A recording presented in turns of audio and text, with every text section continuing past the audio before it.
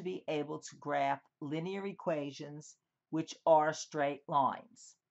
All right, remember the Cartesian coordinate system was named after Rene Descartes, and he used two real number lines. The horizontal axis is the x-axis, the vertical axis is the y-axis. They meet at a right angle at a point called the origin, and that's where both x and y is zero. The Cartesian coordinate axis is divided into four regions. They're called quadrants. And each one is on the next slide showed is gives you counterclockwise. And remember, every point is called an ordered pair. Alphabetically, the x comes first, so it's x and then y. All right, so here we have the Cartesian coordinate axis. The upper right quadrant is the first quadrant, the upper left is the second, lower left is the third, lower right is the fourth. In the first quadrant, you notice both the x and the y coordinates are positive. Conversely, in the third quadrant, both the x and the y are negative. and the second and the fourth have opposite signs. In the second quadrant, the x coordinate is negative, y is positive. In the fourth, the x is positive and the y is negative. Remember, when you're graphing, always start with the x and then go to the y. So we go over 3 and then 1 to plot the point 3, 1. We go over to the left one space on the x-axis, down 1 on the y to plot the point, negative 1, negative 1. Remember, we're constructing the Cartesian coordinate axis. Again, the vertical is the y-axis, the horizontal is the x, the origin is the ordered pair 0, 0. All right, and every point on the plane is identified by AB or x comma y. So let's just plot some points. 2, 1 means we go across 2 on the x-axis in the positive direction. We go up 1 in the y, where they meet is the ordered pair 2, 1. Negative 1, 3 means we go on the axis, x-axis 1 to the left. We go up 3, and there's our ordered pair for the y direction.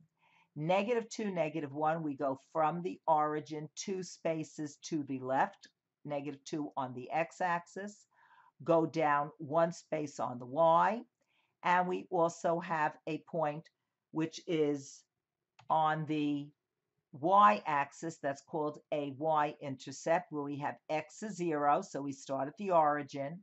We go down three spaces on the y-axis, and now we have the y-intercept, 0, negative 3. All right, the collection of the points that satisfy the conditions of an equation when we draw a line is called the graph of that particular equation. All right, now a linear equation is in two variables, and the standard form is ax plus by equals c, where a and b are the numerical coefficients of the variables, and the c is the constant. All right, let's review the three ways of graphing a linear equation. We can have three points or three ordered pairs. In reality, all we need are two to make a line but the third is the checking point to make sure that the two points actually are true and we did not make an arithmetic error. The x-intercept means we want to point both on the x-axis and the y-axis. And since on the x-axis, the y-coordinate always 0, we set y equal to 0 and then solve for x. On the y-axis, the x-coordinate is always 0, so we set the x equal to 0 and we solve for y. Lastly, when you're using your calculator or graphing on Excel, you want to put the line ax plus by equal to c in the slope y-intercept format, y equals mx plus b, m being the slope, and b is the y-coordinate of the y-intercept.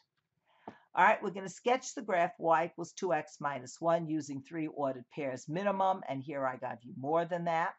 I'm going from x equals a negative 2 to x equals 2 and we want to find the corresponding y value. So when x is equal to negative 2, we have 2 times a negative 2, which is a negative 4, minus 1 equals a negative 5, giving us the ordered pair 2, negative 5.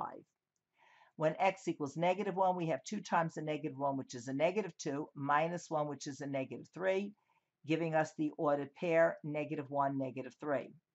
When x equals 0, we have 2 times 0, which is 0. 0 minus 1 is a negative 1, giving us the y-intercept 0, negative 1. When x is 1, we have 2 times 1, which is 2. 2 minus 1 is 1, giving us the ordered pair 1, 1. And lastly, when x is 2, we have 2 times 2, which is 4. 4 minus 1 is 3, giving us the ordered pair 2, 3. All right, let's say we want to graph the line 4x minus 3y equals 24. And I'm substituting points for x and solving for y. I want to make sure that I get an odd number that is divisible by 3. So I'm taking numbers that are multiples of 3 for the 4. And since I can use 0 because 24 is a multiple of 3 initially, I use the negative 3, a 0, a 3, a 6, and a 9 for the x. So when x is equal to negative 3, we get a negative 12. Add the, negative 12 to the 24, you get 36. 36 divided by a negative 3 is a negative 12. When x equals 0, we're left with a negative 3y equals 24, so y equals a negative 8. When x equals 3, we get a positive 12. Subtracting 12 from 24, we get a negative 3y is equal to 12, therefore y equals a negative 4. We have now the x-intercept. When, when x is 6, we get 24 and y is 0. And lastly, when x is 9, we get 36. Subtract 36 from 24, we get a negative 12 divided by a negative 3. And that is going to give us a positive 4. And we plot those points on the graph. And there is the graphic representation of 4x minus 3y equals 24. All right, using the x and the y intercept method, we are looking at the graph 2x plus 6, minus 6y equals 12. Since 12 is a multiple of 2 and 6, it makes this method very easy to deal with. You're not getting fractions. So when we look for the y-intercept, since you're on the y-axis, on the y-axis, x is 0, we're left with a negative 6y equals 12. 12 divided by a negative 6 is a negative 2. So there is our y-intercept. For the x-intercept, we know that x is y is equal to 0. Therefore, when y is equal to 0, we're left with 2x equals 12. 12 divided by 2 is 6, and we plot that point. And the ordered pair 3, negative 1 is also on that line. That's our checking point. All right, let's say we want to graph 2x minus 6y equals 12 on a graphing calculator or on an Excel spreadsheet.